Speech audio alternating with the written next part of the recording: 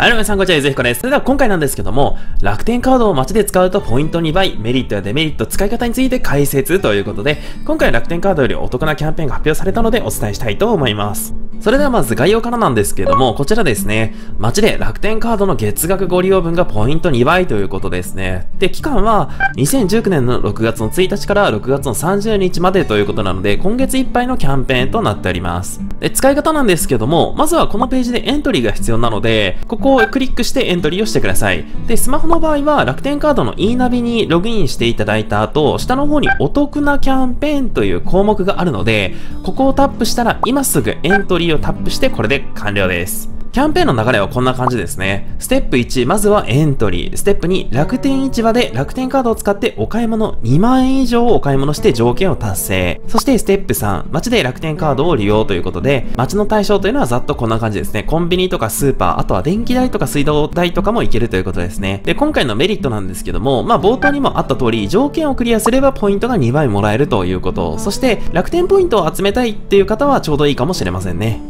まあ、今回のデメリットなんですけども、条件達成のハードルが高いんですよね。先ほどもお伝えしたように、まあ、楽天市場で2万円以上のお買い物が必要ということと、あと、今回の上限というのが1000ポイントまでって決まってるんですよね。まあ、そのために、マックスもらうためには、街で10万円っていうのを使用する必要があるので、もしですね、まあ、楽天カードを使って大きなお買い物をする方であれば、今回のキャンペーンがぴったりっていうかもしれないですね。